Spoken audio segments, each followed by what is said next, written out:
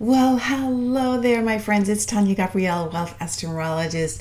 Welcome to Star Codes, the forecast where we look at an upcoming event in the stars and numbers, the astrology and numerology to help us navigate the energy to the best of our abilities, as always.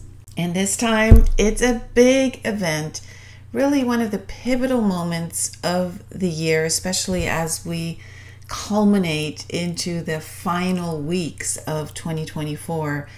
And that is Pluto opposite Mars.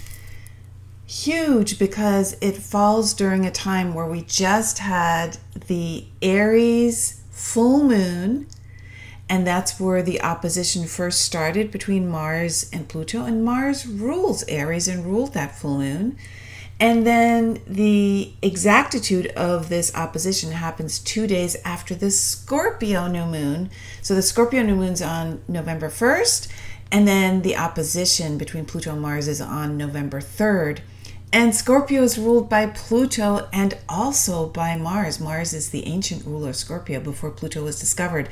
So, literally, this opposition happens during their respective lunations, Aries and Scorpio making the opposition even more intense, powerful, and a huge wake up call. Like there's a lot that is going to come into a place where you need to just look, you need to see things. We all need to just be so aware of what is being dredged up. And that's what Scorpio does, that's what Pluto does.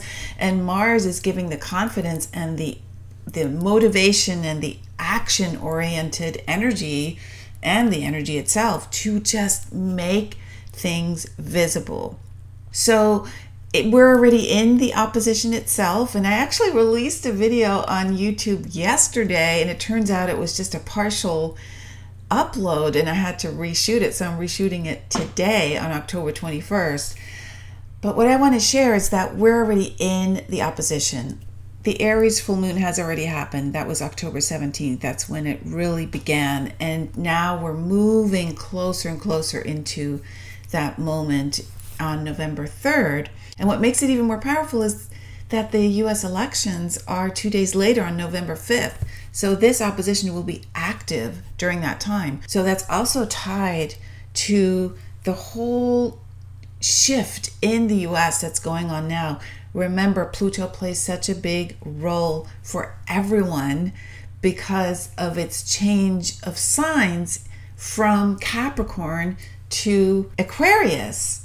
And of course, I've talked about this, as have so many astrologers. This is the big moment coming up on November 19th, where Pluto finally, finally leaves Capricorn and moves into Aquarius. So now we're at the end, we're at the final push. This is the most intense time where we really feel the pressure of Pluto.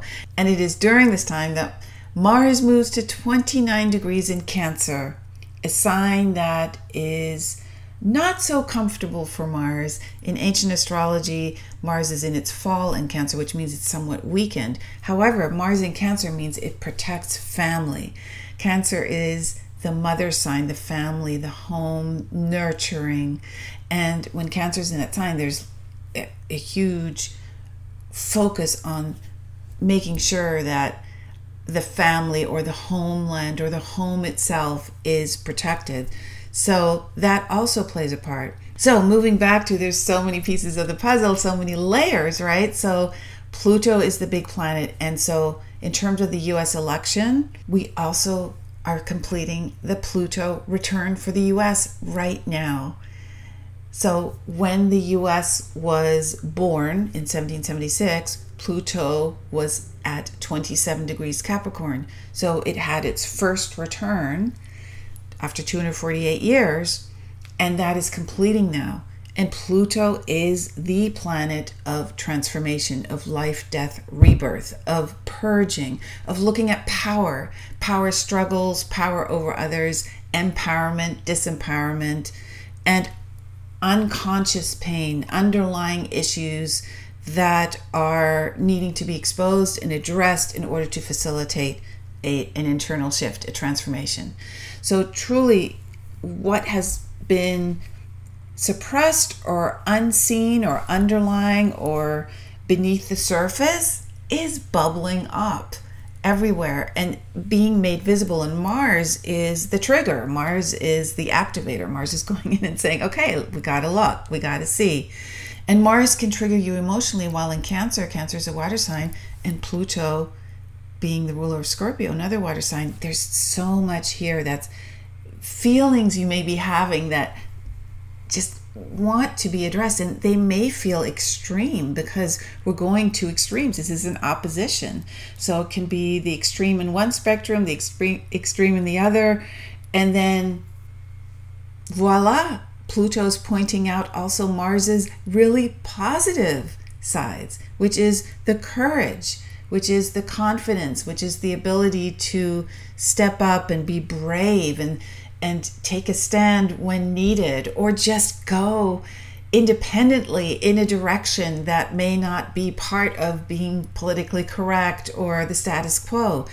You remember that Pluto's about to move into Aquarius, which is so about being unique and not towing the line. So we are really moving into this internal space of trusting. You know, Pluto and Mars, when they're in opposition, because they're also co rulers of Scorpio, that's a very big awakening of your psychic awareness, your intuition. And Pluto digs really, really deeply, uncovering, and then Mars is there being very brave to accept what is being uncovered. So the growth that we can have at this time is really stunning. So we have this beautiful kite to help us take flight in the astrology. So if you look at the actual map, you'll see a more aqua green color that paints a triangle between the moon, which is conjunct Mercury, right at the moment of exactitude of the Pluto and Mars opposition. So moon conjunct Mercury are trine to Neptune and they're trine to Mars.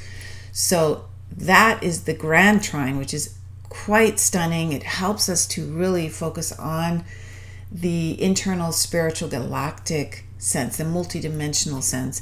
And then they're pointing, that grand trine is pointing to Pluto, and you can see the darker blue arrows pointing to Pluto at the bottom of the chart, 29 degrees in Capricorn. And that creates a kite.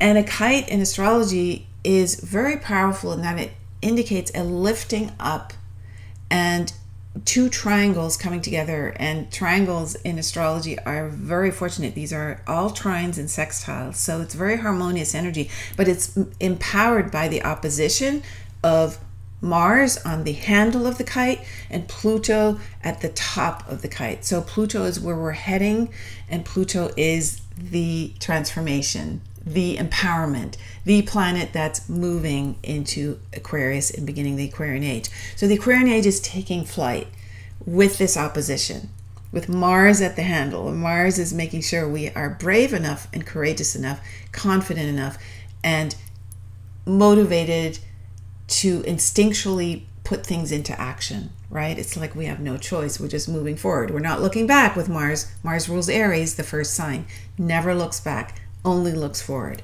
So being present in this moment is the key. So there are going to be three peak periods of Mars opposite Pluto. And the reason is that Mars stations retrograde on December 7th. So after that first peak period on November 3rd, Mars starts moving back and then crosses Pluto again in its retrograde on January 7th. And that day is important too the first peak period is November 3rd, two days before the US election. The second peak period is January 7th, which is one day or just hours after that infamous January 6th date. And then the final peak period is April 24th, which follows the two super intense eclipses in March. So, literally, Mars will be in Cancer for a long time, early September, all the way through to the end of April, with a quick sojourn in Leo, because Mars moves into Leo in November and then stays there for about a month and a half or so. So huge, right? That we have all this Cancerian energy. Remember, Focusing on the US again, the Pluto return is happening at the same time, it's finishing up. The US is a Cancer, being born July 4th. Mars is in Cancer. And so this is all tying into a rebirth, a reset. And we haven't even touched upon all the rest of the incredible aspects in 2025 that are happening as well, which is that the rest of the slow moving outer planets are also changing signs, just like Pluto. They're moving to zero degrees of a new sign. And then amazingly, there is a second kite that is being formed from this grand trine. So look at the grand trine again. It's Mercury conjunct the moon, and then there is Neptune, and then there is Mars. They create that beautiful grand trine. And they are also pointing to Uranus, which is on the right side in the seventh house in Taurus, 25 degrees Taurus. And Uranus is the ruler of Aquarius.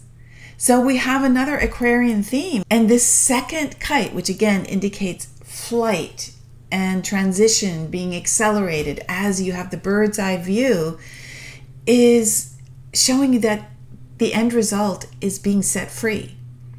And what do we yearn for more than to have the freedom of movement, the freedom to be who we are, the sovereignty, the independence? And so, this whole year that's coming up in 2025 is going to be focused on how do we set ourselves free?